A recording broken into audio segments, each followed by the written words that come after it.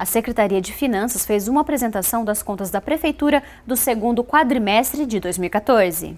Com a queda na arrecadação do ICMS e com a meta do Programa de Refinanciamento da Dívida, ou REFIS, longe de ser alcançada, o vereador Marcos Bernardelli, do PSDB, avaliou os números apresentados pela Prefeitura Municipal.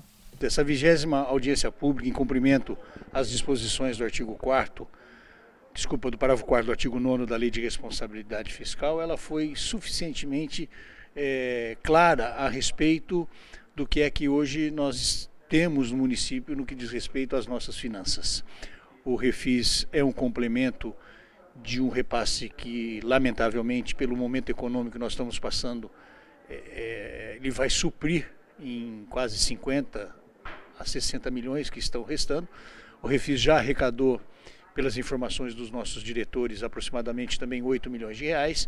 E nós temos aí ainda 30 dias por um trabalho é, principalmente das pessoas jurídicas que comparecem para fazer os seus parcelamentos e fazer os seus acordos. Mas o mais importante é o contingenciamento, que pode ser realizado de acordo com aquilo que houver a necessidade. O que foi de bom é que, na pior das hipóteses, nós estamos aí com 30 dias de atraso ao pagamento de fornecedores, mas aqueles fornecedores até 30 mil reais, na data de hoje, todos receberam.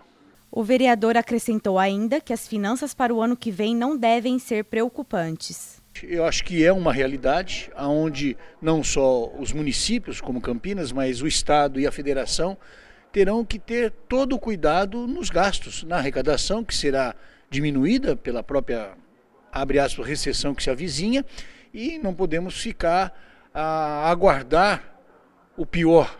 Nós temos que nos precaver desde já.